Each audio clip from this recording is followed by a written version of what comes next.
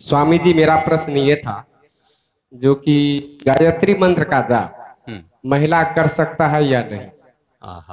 बहुत बढ़िया प्रश्न एक बार जोरदार तालियाँ। बैठ जाइए बैठ जाइए। गायत्री मंत्र का जाप महिला कर सकती है या नहीं ये कुछ दिनों से विवाद चल रहा है। कुछ लोगों ने कहना शुरू कर दिया है कि महिलाओं को गायत्री मंत्र का जाप नहीं करना चाहिए। क्यों?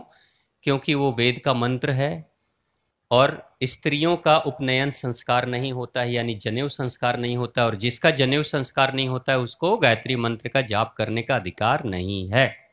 और दूसरी बात, कुछ लोग ये भी कह रहे हैं कि गायत्री मंत्र के जाप के लिए उपनयन संस्कार होना चाहिए पहले, लेकिन स्त्रियों का उपनयन संस्कार ही नहीं होगा। यानी कि महिलाओं को जाप करने का अधिकार नहीं प्राप्त है। ये बात है ना? यही कह रहे हैं। अब सच्चाई, पीछे कुछ चलते हैं, वैदिक काल में। वैदिक काल के जो विदुषी महिलाएँ थीं, वैदिक काल के विदुषी महिलाएँ, चूँकि ये वेद का मंत्र है तो लोग कहते हैं वेद पढ़ने का अधिकार नहीं है। लेकिन भारत की स्थिति, भारत में कुछ महिलाओं का नाम आपको पता होगा। आपके क्षेत्र की एक महिला थी, मंडन मिश्र की पत्नी। क्या नाम था उनका? विदुषी भारती थी। भारती वेद विदुषी थी। वेदों का टीका तक करने की क्षमता रखने वाली थी। अब दूसरी कोई महिला जिसका नाम आपको पता है जो वेद विदुषी थी? कालीदास की अर्धांगनी। नाम बताइए। विद्योत्मा। विद्योत्मा। विद्योत्मा। वो भी वेद विदुषी थी। ठीक है? उसके अलावा और कौन थी?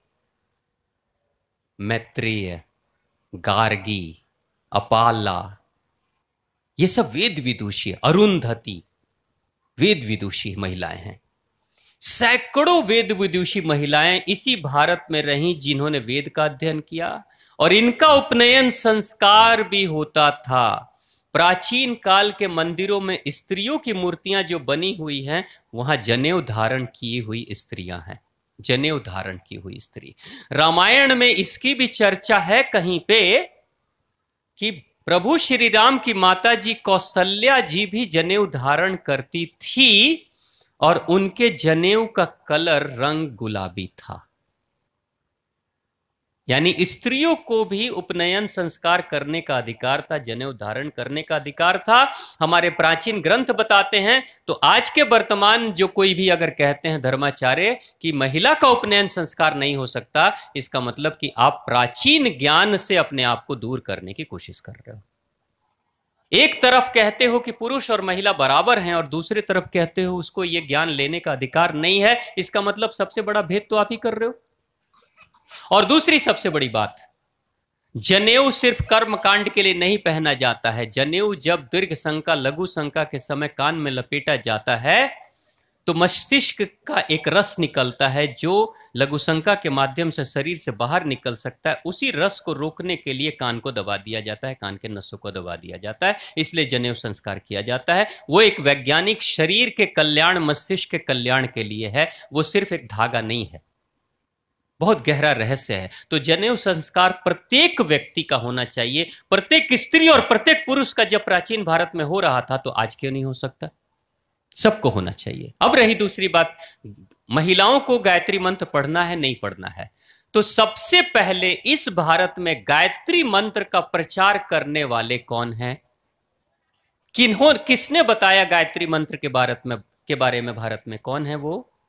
आचार्य श्री राम शर्मा, शांति कुंज के संस्थापक। शांति कुंज के संस्थापक? है ना? तो शांति कुंज के संस्थापक जब आचार्य श्री राम शर्मा जी थे तो उस गुरुवर ने पूरे देश विदेश में भारत से लेके गली गली में यज्ञ करवाया शांति कुंज के तरफ़ से और गायत्री का ही मंत्र दीक्षा के रूप में सभी को देते थे। और उन्होंने जो दीक्षा दी है और गायत्री मंत्र के जाप के लिए बोला है, उसमें हज़ारों, लाखों, करोड़ों स्त्री और पुरुष दोनों हैं। क्या आप ये कह रहे हो कि जो हमारे गुरुवर थे, आचार्य श्री राम शर्मा जी, आचार्य वो वेद नहीं पढ़े थे? वो नियम कानून नहीं जानते थे? क्या उनको नहीं पता था कि स्त्रियों को नहीं पढ़ना चाहिए? अगर उनको पता था तो स्त्रियों को उन्होंने मंत्र क्यों दिया? और स्त्रियाँ क्यों पढ़ रही है? तो कहानी मैं बता रहा हूँ कि सच्चाई क्या है। इस पूरे खेल के पीछे, इस वक्तव्य के पीछे का राज्य आप समझ लो, आपको बात समझ में आ जाएगी। षड्यंत्र क्या चल रहा है? लाखों करोड़ों महिलाएँ, पुरुष, आज फॉलो करते हैं शांति कुंज को। लाखों करोड़ों लाखों करोड़ों माताएँ। कुछ दो, जो धर्माचार्य हैं ना, ये चाहते हैं कि उधर से टूटेंगे तो हमारे पास आएँगे। हमारे नंबर ऑफ़ फॉलोअर्स बढ़ेंगे, हमारे अनुयायी बढ़ेंगे। तो जो काम कर रहे हैं, पहले उसको छुड़ा दो, पहले उसको बदनाम कर दो। पहले बोलना शुरू कर दो कि भाई नहीं, गायत्री मंत्र अचानक कौन सा? तुम्हारे ऊपर पहाड़ टूट पड़ा है कि गायत्री मंत्र स्त्रियाँ नहीं पढ़ सकती, ये आपने रटना शुरू कर दिया। स्कूलों में, कॉलेजों में बच्चों को पढ़ाया जा रहा है, मरीजों के ऊपर गायत्री मंत्र का जाप करा के उसको ठीक किया जा रहा है। दिल्ली में ये प्रयोग हो चुका है। हाँ जिस नियम कानून के, कठिन नियम कानून के कारण से लोग धीरे धीरे सनातन धर्म, हिंदू धर्म को तोड़ रहे हैं, छोड़ रहे हैं और दूसरे धर्म के लोग, पंथ के लोग भारतीय हिंदुओं को अपने पंथ में मिला रहे हैं, उसी तरीके से भ्रम फिर से पैदा कर रहे हो? तो यहाँ कहानी गायत्री मंत्र की नहीं है। यहाँ है कि गायत्री मंत्र जैसे स्त्रियाँ छोड़ेंगी तो उसके बाद स्त्री कहेंगी, अब बताओ किसका करें? तो अपने अपने जो अनुयायी बनाने के जो भेड़ चाल रखने के लोग हैं ना, ये कहेंगे, अब मेरे पास आओ, मैं तुम्हें बताता हूँ। यानी कि अभी के धर्माचार्य क्या कर रहे हैं, ये समाज के किसी बड़े युग पुरुष के काम को धोने की कोशिश कर रहे हैं। यानी आचार्य शर्मा जी ने जो लाखों करोड़ों का जो अभियान तैयार किया पूरे विश्व भर में उस गायत्री पीठ के कार्य को धूमिल करना चाहते हैं तो याद रखिएगा, आज आप किसी युग पुरुष के कार्य को धूमिल धूमिल करने की कोशिश कर रहे हो, कल आपके कार्य को भी कोई दूसरा आएगा, धूमिल करके चला जाएगा। है ना? तो कहीं कोई भेद नहीं है। बिल्कुल पढ़िए, खूब जम के पढ़िए, स्त्रियों को पढ़ने का पूरा अधिकार है, कोई दिक्कत नहीं है।